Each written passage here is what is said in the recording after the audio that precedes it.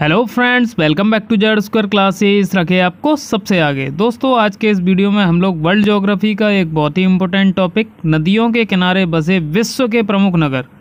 ये याद करेंगे और बहुत ही बेहतरीन और बहुत ही फ़नी ट्रिक के साथ याद करेंगे। सिर्फ़ एक बार आप लोग अगर वीडियो देखेंगे तो 100 परसेंट याद होगा ही होगा। दोस्तों, ये टॉपिक हमने लूसेंट जीके की बुक से लिया है और इससे पहले भी हम कई सारे वीडियोस लूसेंट ज्योग्राफी से और लूसेंट विविध से अपलोड कर चुके हैं अपने इसी YouTube channel Z square classes पर अगर आपने वो वीडियोज़ नहीं देखे हैं तो डिस्क्रिप्सन में लिंक दिया हुआ है प्ले का। आप वहाँ से जा के उन वीडियोज़ को देख सकते हैं।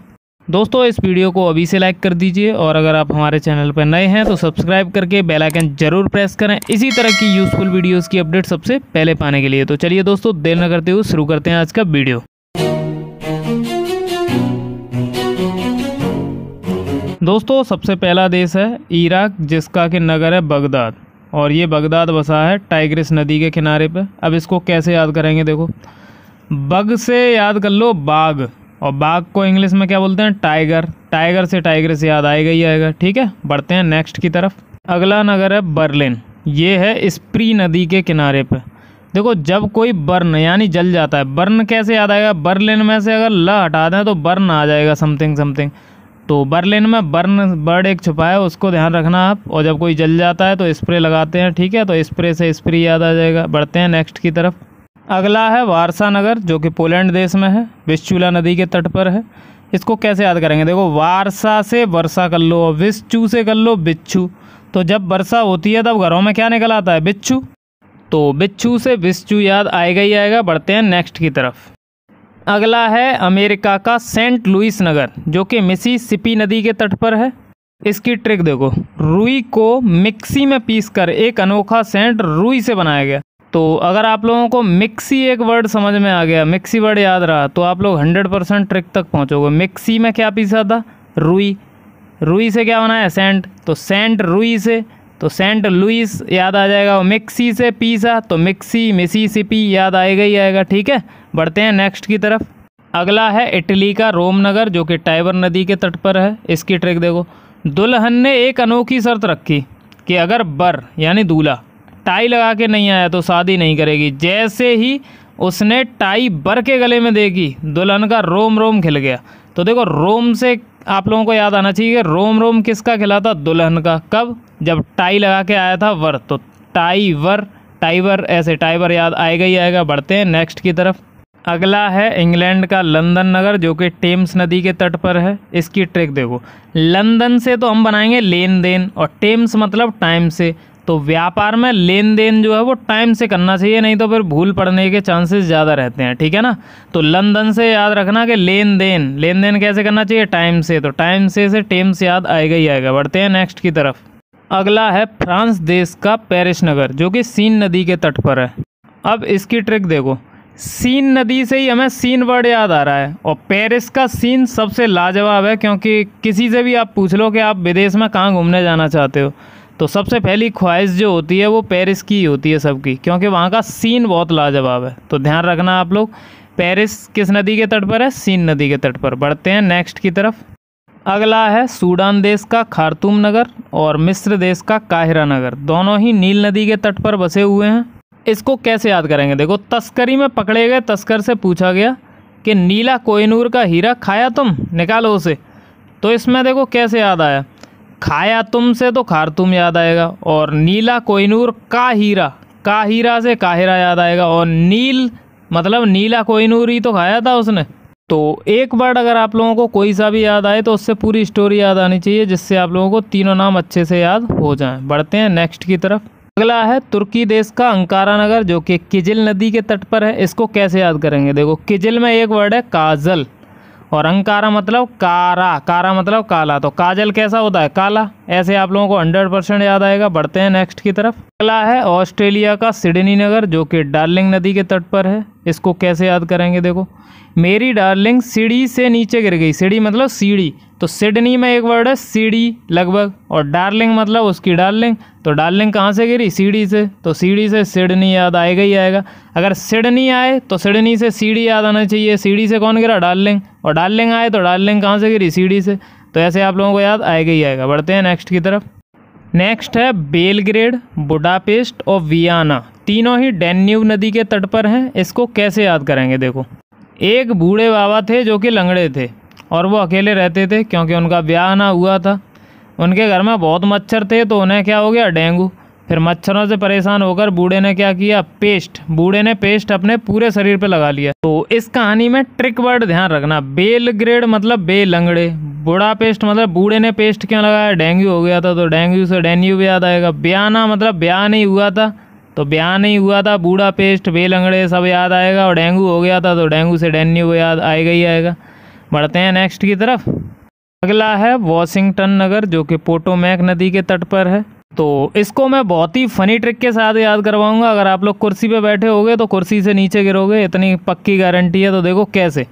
देखो वॉशिंग टन में एक वर्ड है वॉशिंग वॉशिंग मतलब वॉशिंग मशीन और पोटो मतलब पोटैटो और मेक मतलब बनाना तो देखो तो हमारी ट्रिक है, ऐसी वॉशिंग मशीन लगाऊँगा, इधर से कपड़ा घुसेगा, उधर से क्या बनेगा पोटैटो तो ऐसे आप लोगों को याद आना है कि वॉशिंगटन में वॉशिंग वॉशिंग से क्या बताया था? वॉशिंग मशीन तो ऐसी वॉशिंग मशीन लगाऊँगा वॉशिंग मशीन में कपड़ा ही तो डालते हैं तो कपड़ा घुसेगा, लेकिन निकलेगा क्या? आलू, यानी पोटैटो तो पोटैटो से पुट्टो, पोटो मेक याद आएगा ही आएगा। बढ़ते हैं नेक्स्ट की तरफ़। अगला है जापान का टोक्यो नगर। अराकावा नदी के तट पर है। इसको कैसे याद करेंगे? देखो, टोक्यो मतलब टोकियो। किसी को टोकना मतलब रोकना, टोकना। अराकावा मतलब अरे कौवा तो ट्रिक ये है कि एक भाई ने दूसरे से बोला कि भाई टोकियो से, कि किसे? अरे, कोवा को, पूजा का सामान खराब कर रहा है। तो जब भी आप लोग टोक्यो वर्ड सुनो तो आप लोगों को ध्यान आना चाहिए, टोक्यो किस लिए बोला था? क्योंकि कौवा जो था, वो पूजा का सामान खराब कर रहा था। बढ़ते हैं नेक्स्ट की तरफ़। अगला है न्यूयॉर्क नगर, जो कि हडसन नदी के तट पर है। इसकी ट्रिक देखो। मेरा न्यू ईयर बहुत हैंडसम है। तो न्यू ईयर न्यूयॉर्क में एक वर्ड है न्यू ईयर और हैंडसम से हडसन याद आएगा ही आएगा। बढ़ते हैं नेक्स्ट की तरफ़। अगला है लिस्बन, जो कि टंगस नदी के तट पर है। इसको कैसे याद करेंगे देखो। तो एक महाशय थे जो पान मसाला खा रहे थे। उन्होंने वन में थूक दिया तो वन के जो अधिकारी थे, उन्हें गुस्सा आया और उन्होंने लिसे हुए वन को, जिसने थूका था, उसकी टंग से साफ़ करवा लिया था। टंग मतलब जीव से।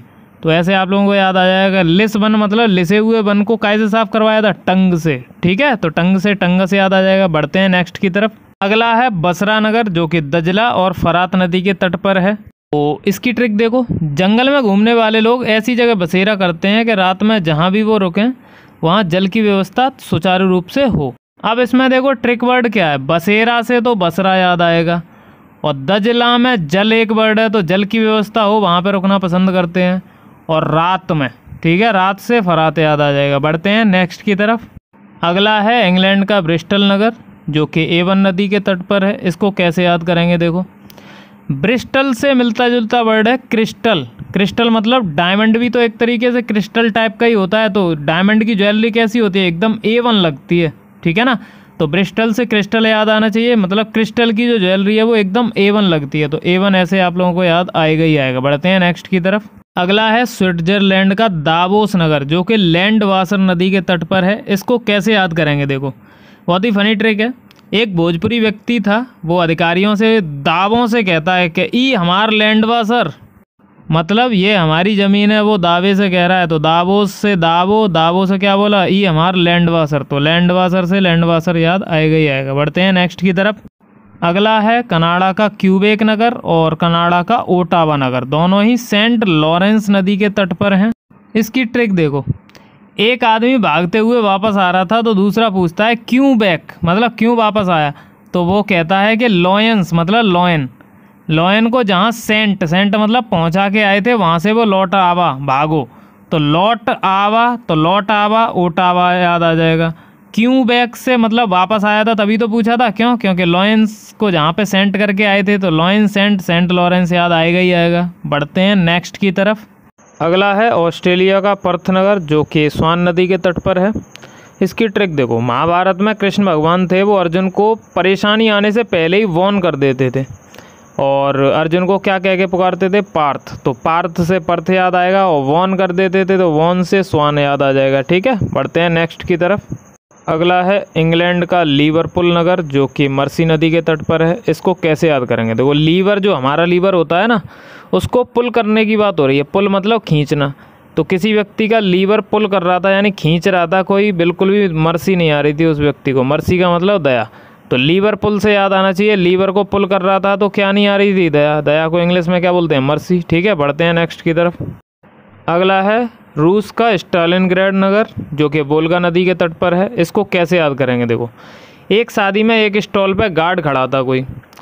तो कुछ बता ही नहीं रहा था वो तो सब उससे पूछने लगे कि कुछ बोलेगा अभी? तो जैसे ही आप स्टॉलिन ग्राड नाम सुनोगे तो स्टॉल पे गार्ड खड़ा था, उससे क्या बोला? कुछ बोलेगा तो बोलेगा से बोलगा याद, आएगा ही आएगा। बढ़ते हैं नेक्स्ट की तरफ़। अगला है म्यांमार का रंगून नगर, इरावदी नदी के तट पर है। एक लेडीज़ थी, वो गाना गा रही थी, मेरे पिया गए रंगून। तो तब तक एक दूसरे ने टोक दिया कि भैया, ये गाना क्यों गा रहे हो तुम? रंगून काय के लिए गए हैं तुम्हारे पिया? कि किसी इरादे से ही गए होंगे तो इरादे से इरावदी याद आएगा ही आएगा, ठीक है?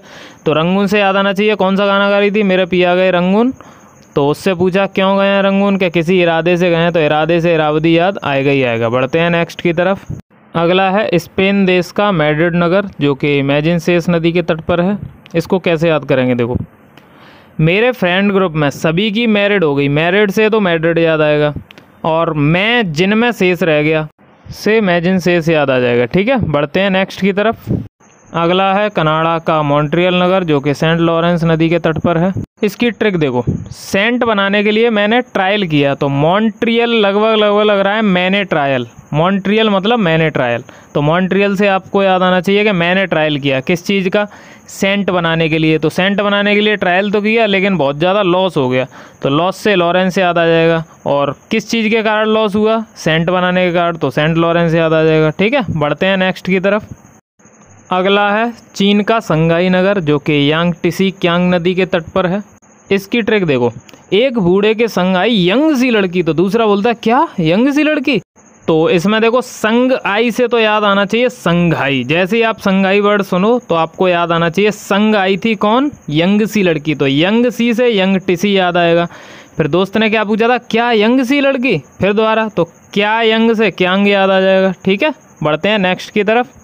अगला है अमेरिका का शिकागो नगर, जो कि शिकागो नदी के ही तट पर है तो इसकी कोई ट्रिक बताने की आवश्यकता तो है नहीं है। ठीक है, बढ़ते हैं नेक्स्ट की तरफ़।